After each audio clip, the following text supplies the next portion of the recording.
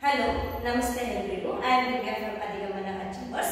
Today I am going to tell best trick to count the figures. If you want to count the figures, if that is in square, in the sense, inside the square, to count number of triangles, how to do that one? ಹೇಗೆ counting ಮಾಡೋದು ಅಂತ ಹೇಳಿ. Look here, first one square. So here, first give the numbers 1,